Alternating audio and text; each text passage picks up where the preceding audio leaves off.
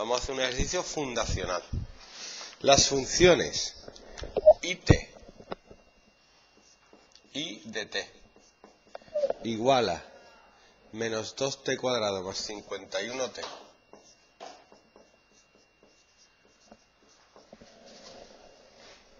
y gt igual a t cuadrado menos 3t más 96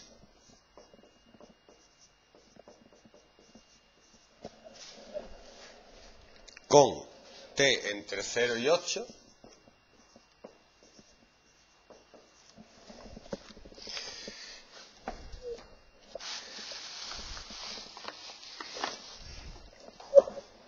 representan respectivamente los ingresos y gastos de una empresa en miles de euros en función de los años T transcurridos desde su inicio en los últimos 18 años. Pone aquí.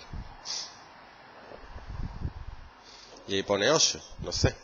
¿Para qué valores de T desde su entrada en funcionamiento los ingresos coincidieron con los gastos? O sea, me está diciendo cuándo I de T es igual que G de T. Es una ecuación. Punto pelota. ¿Sí o no? Porque los ingresos tienen que ser iguales a los gastos, ¿no? ¿Cuándo coincidieron los ingresos con los gastos?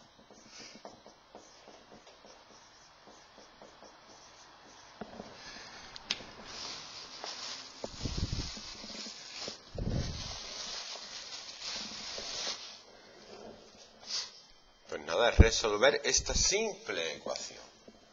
Sería 3t cuadrado, porque yo soy más de pasar esto para acá. 51t pasa restando, sería menos 54t más 96 igual a 0. Y me queda una ecuación de segundo grado que es menos b 54 más menos raíz cuadrada de 54 al cuadrado 2916 menos 4 por 3 por 96 partido 2 por que es 6. El valor de la raíz es 2916 menos 4 por 3 por 96, 42.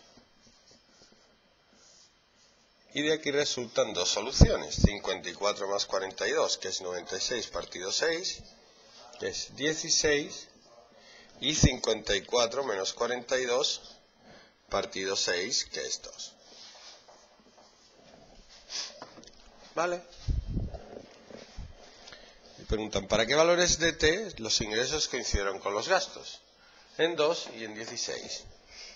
Determine la función que refleje los beneficios, ingresos menos gastos en función de t y represéntala gráficamente. ¿Puedo borrar esto?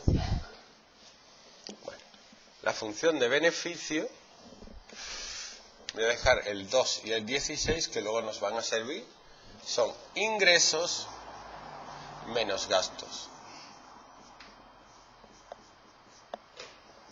O sea que sería menos 2t cuadrado más 51t menos t cuadrado más 3t menos 96. Hay que calcular la función de beneficio y representarla. Menos 3t cuadrado más 54t menos 96. Eso es una parábola.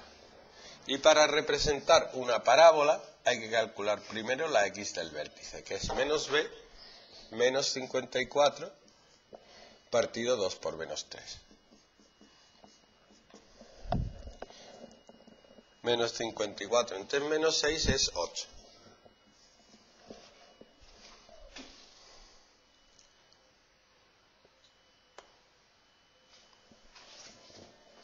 Nueve. Si no acordamos la tabla multiplicar. Luego no viene mal hacer los puntos de cortes con los ejes. Cuando t vale 0 el beneficio vale.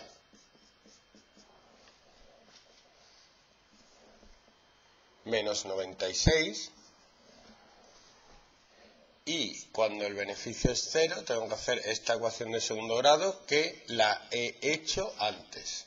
Si recuerdan, los que, los- la ecuación de segundo grado que hemos hecho antes es esta. ¿Ya son los papeles o no? Sí, ahora tengo que poner más. Uf, qué estrés. Y de aquí sale 2 y 16. ¿Ok?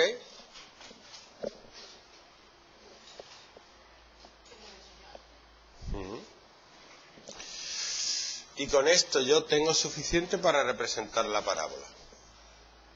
Porque tengo ¿Y por qué lo igual hasta cero?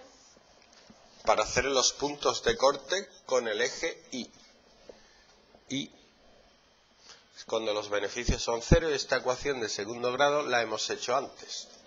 ¿O no? Sí, la acabamos de hacer. Si te fijas en lo que tienes arriba, hemos hecho esta ecuación de segundo grado. Entonces tenemos que el vértice es 9 y cortan los puntos 2 que vale 0 y 16 que vale 0. Solo tendría que calcular los beneficios para 9, que sería sustituir el 9 aquí. Menos 3 por 9 al cuadrado, más 54 por 9, menos 96. 147.